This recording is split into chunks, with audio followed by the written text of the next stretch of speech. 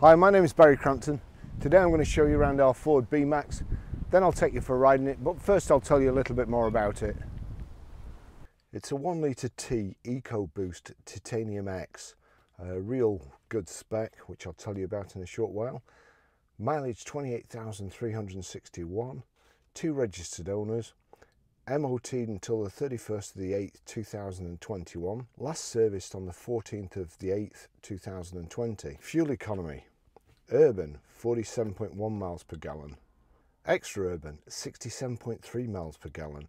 And combined is 57.7 miles per gallon. Top speed of 117 miles per hour out of a three cylinder 123 brake horsepower 12 valve engine Road tax is only £30 per year for this car and it's got a full service history. So great spec little car here. Um, we've got the front parking sensors, the kind of the Aston Martin uh, at the, at the bottom there, a front splitter, snowflake design alloy wheels, good tyres all round, power folding door mirrors, got the full panoramic uh, glass sunroof there, the chrome window surrounds. You've also got the um, little button on the door handles. As long as you've got the keys on you, if you just press that button, it'll close. And again, when you've, if you've got the keys on you when you come back, press the button again and the, uh, the door will open. Rear privacy glass, good feature on this car and I, do really like it. I, wish the front doors had, had open like this as well, but obviously it would be slightly more difficult. But there you go. So uh, nice if all doors were like this, we'd save an absolute fortune with our dent man, getting parking dents done and everything. Just open straight up, narrow gap, not opening your door into anything and uh, other people not opening their door into you. But what it also does mean is it's the, the front doors, I'll try and remember to show you later, but instead of just having a catch in the middle, a door catch normally around about there on the car, there's one at the bottom and one at the top and also the door feels really really substantial. So I'm, I'm pretty sure that'll be a benefit you know in the event of a crash or anything. We've got this color coded spoiler there. Electric boot release. You can just see there that's the lens for the reversing camera reversing sensors there. So if you're reversing to anything in this you, you need shooting. There's quite a lot of space in uh, kind of a that, that looks like 70-30 sort of split seat there, or 66, 34 split seat. Um, rear load cover, it's, it's mint in the back, don't look like anything at all has been in here. The only thing probably is, is my camera equipment. You've also got, kind of got a false floor there, so you can uh, you can put other stuff on underneath there, so it makes a bigger bigger loading area, and also little hooks in the back, hang your shopping on.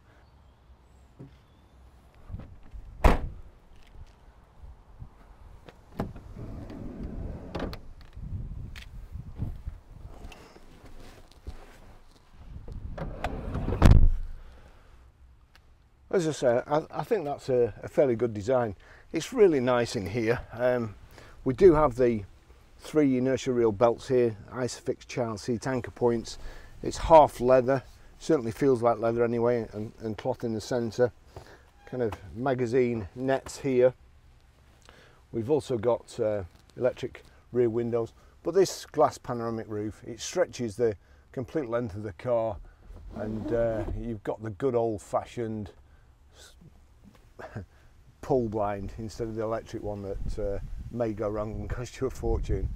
And the other great thing, just to make it even easier to get in, if you're struggling to get in the back really, you can also open the front door and you, the whole of the side is, is kind of empty. Put, the, put this seat forward and if you've got uh, elderly uh, relatives or, or old car salesmen, it just makes them easier to get in. So uh, rear centre armrest, carpets over, carpet over mat. It's it, the car's absolutely mint. It really is. It's like brand new. It's a lovely car.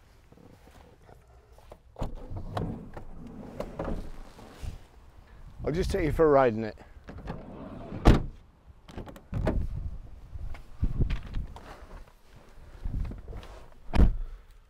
So we have the two remote Ford key fobs but it is keyless entry and keyless go. So foot on the clutch, press the power button, and uh, away we go. I'll just turn that down in case it turns my Bluetooth on.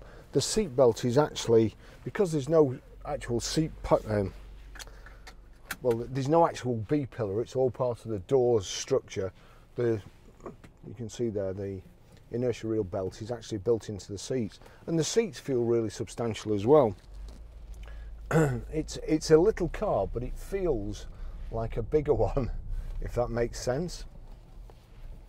We've also there, you see, got reversing camera and reversing sensors.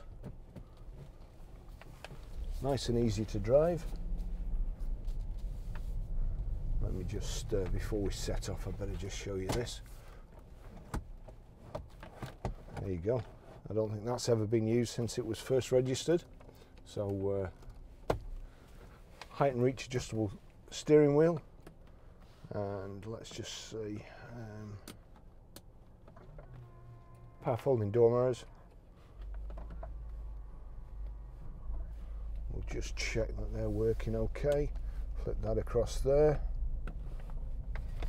Yep, that's working fine.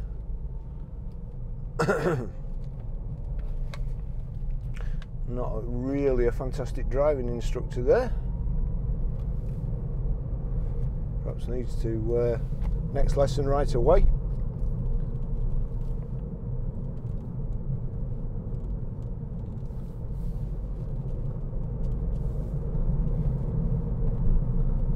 Great Ford gearbox, proper handbrake, cup holders in the centre here. Got also there heated seats. So it's fantastic spec. We've also managed to pick up a, a fly here. Oh.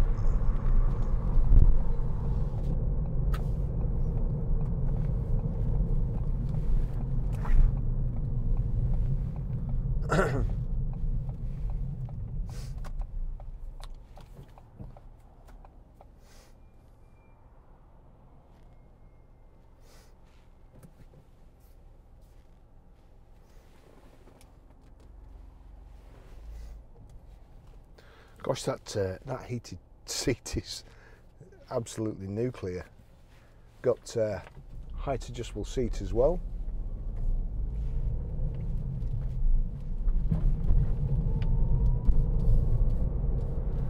And it's only a one litre three cylinder engine, so it's really economical. And uh, it actually sounds a lot better than a four cylinder.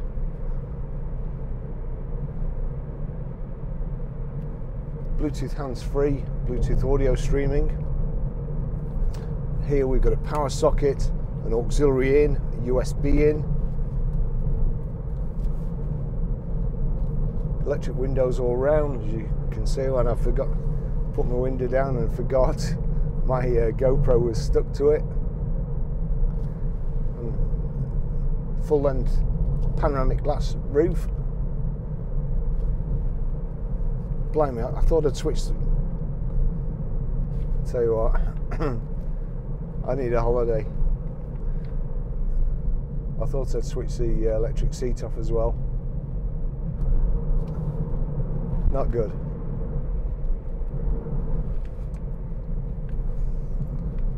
On the multifunction steering wheel here, we've got cruise control on the side there. So we've got on in the centre and then you can set either the plus or the minus and then you can use the plus or minus to uh, adjust or moderate your speed. Just need to reduce that now. We're into 30 mile an hour zone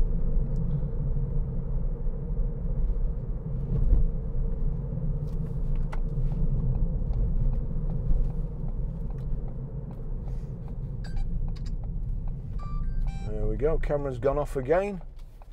Okay, well I just had to uh, restart my camera, we'll see how long it lasts this time. And uh, turn the air conditioning down to low. On the dash here, on the left hand side, we've got rev counter, then information display in the center.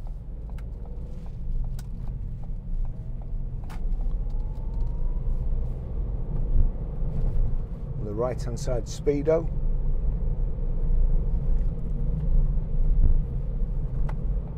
I'll go a different way today. I don't, I don't think anybody who buys this car is probably going to be buying it to go down the motorway. So we'll just do a, a little bit of town driving.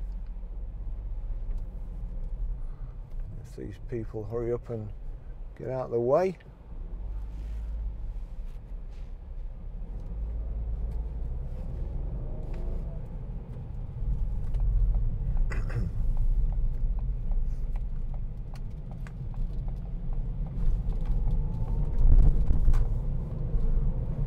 good driving position. With it being uh, higher up you get more leg room not in length but in height. So uh, nice and comfortable. Seats are really comfortable well well padded. So good level of equipment.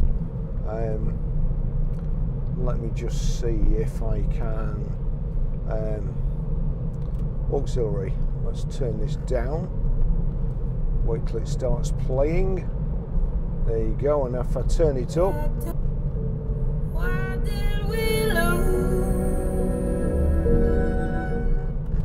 Bit of a depressing record there but it's, uh, it's a nice happy car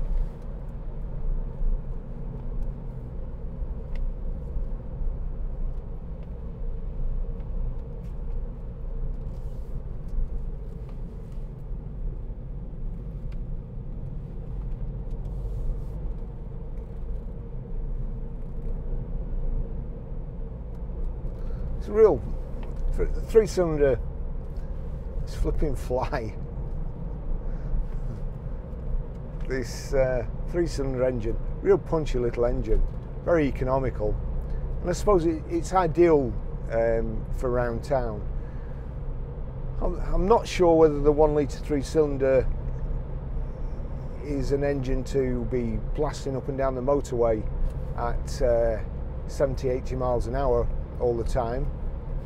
And I have used a Focus one litre EcoBoost. And, and, to be fair, it was very good. It was very, very economical around town. Uh, but to be honest, at 70 miles an hour, it wasn't as economical as, a, as it could have been, really. Certainly not as economical as probably a, a 1.6 diesel. So I think the engine's ideally suited for this sort of car. Um, you know, a, a, a second car, run around, a kiddie bus for school, and uh, it certainly accelerates as fast as you need. Good finish all round. Piano black around the radio, or the, the Sony radio is all part of the piano black, same colour. Um, again on the gear tunnel, you've got the aluminium insets the aluminium insets on the steering wheel, around the door handles here.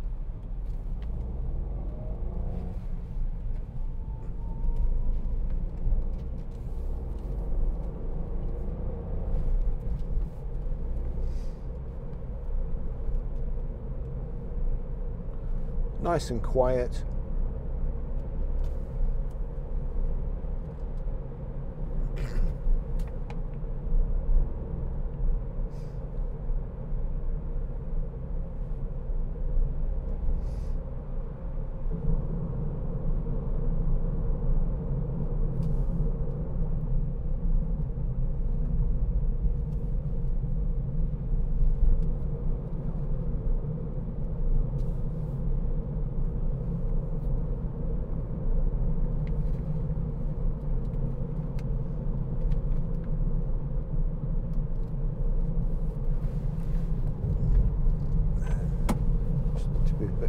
Further away.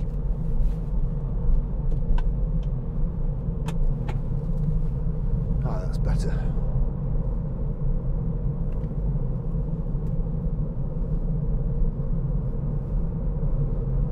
Back seat's nice and comfortable too, and as I say, it's it's easier to get in the back, I would say.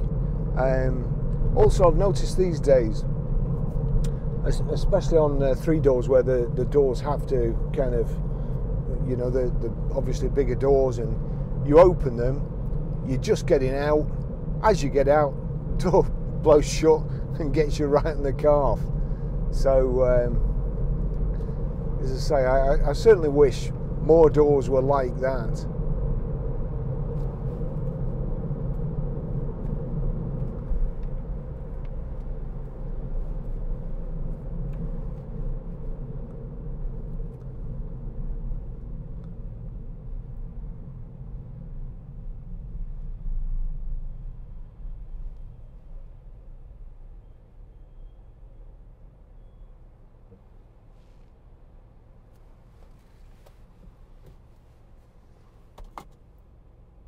Yeah, you've got uh, your little convex mirror there, so you can see what's going on the back, what your kids are doing, without taking your eyes off the road as well.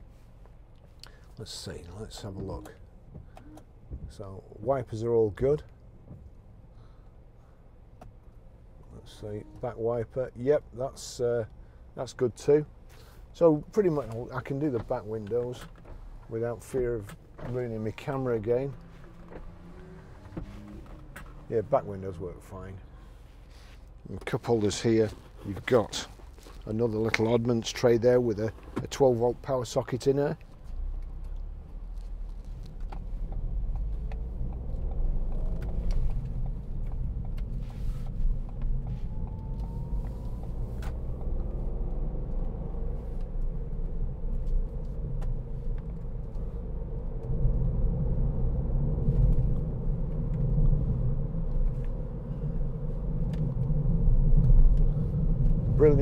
Silky smooth Ford gearbox.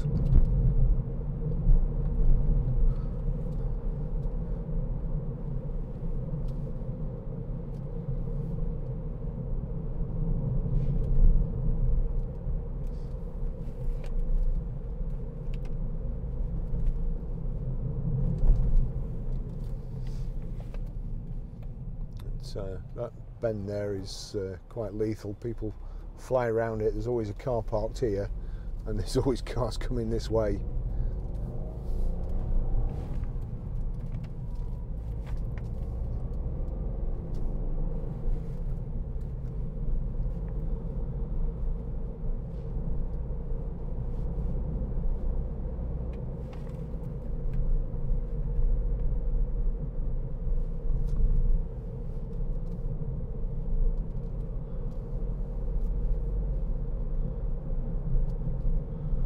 So ideal for these sort of roads, these conditions. It's uh, good suspension on it, nothing, nothing too hard. Soaks up all the bumps, and it's uh, it, it does. It really looks like a, a, a new car.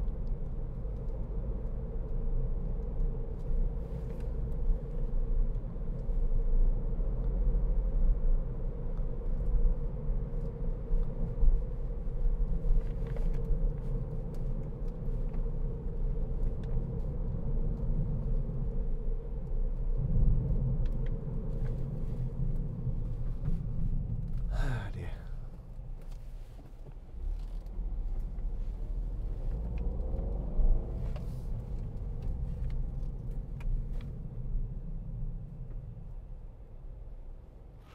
We'll just go a bit further, then I'll uh, finish the test drive. But what I will do is show you how to um, pair a mobile, how to delete a mobile, how to stream audio, how to get rid of a fly out your, your car when you can't let your windows down.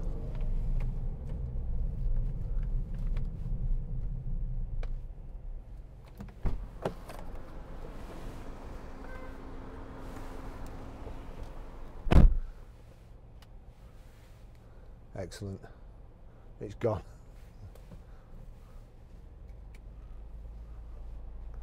Let's see, is there anything I've missed? Oh, we've got the uh, trip computer there. Tells you average miles per gallon, speed. Uh, the mileometer at the moment is registering 28,374 miles. Actually, I w- I'll, I'll pull up around the corner and, and tell you the service history, or show you the service history. Watch the lights change now.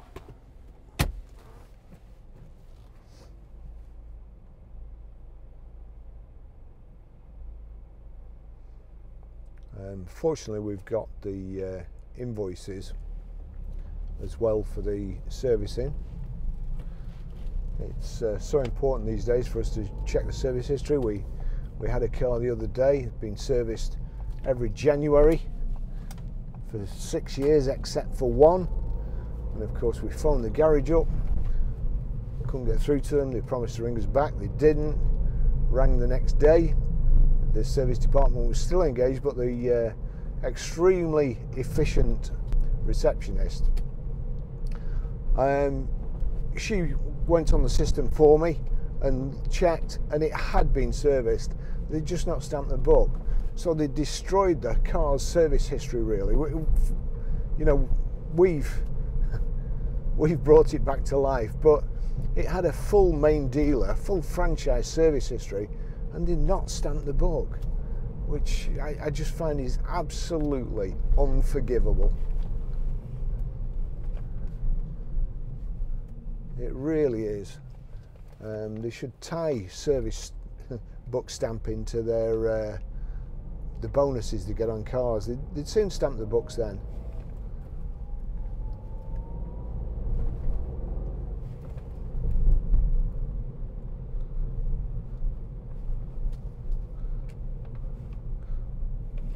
Another pet hate of mine is no ink on the service stamp block so you can't read who serviced it. And but I'll, I'll just show you one in, in a moment that there's absolutely no excuse for.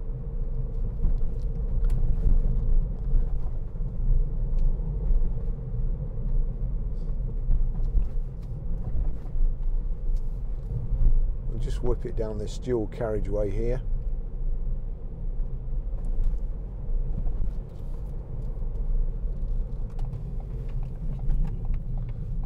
to show you how it goes. This little one litre engine.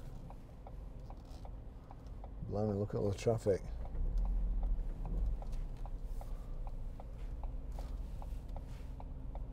That's not my best idea.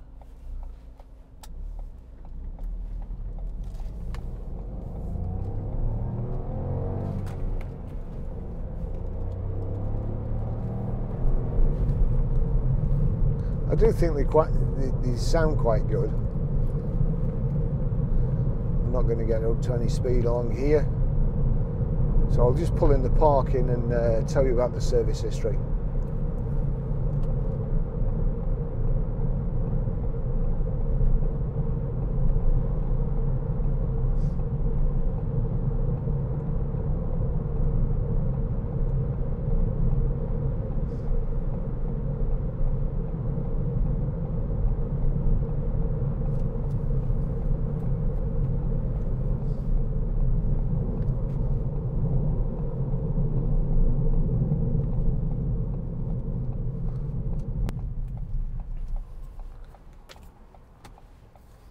Okay, so service history. Here we go.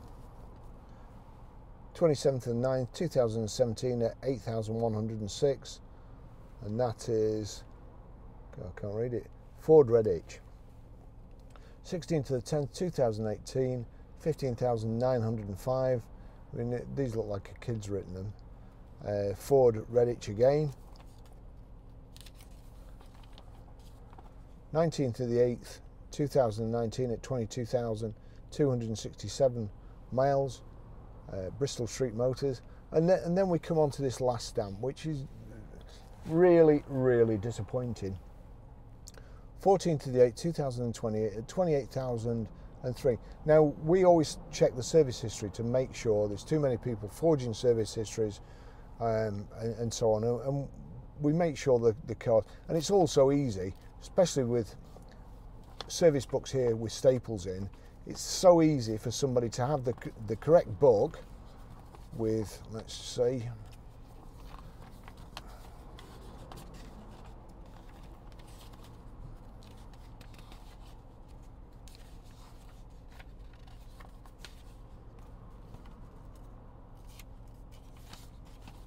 Actually, they don't even do that anymore, do they?